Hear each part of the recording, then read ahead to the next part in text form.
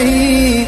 उस चांदनी को जिसमें के तेरी परछाई दूर हूँ मैं, इन हवाओं से ये हवा तुझे छू के भी आ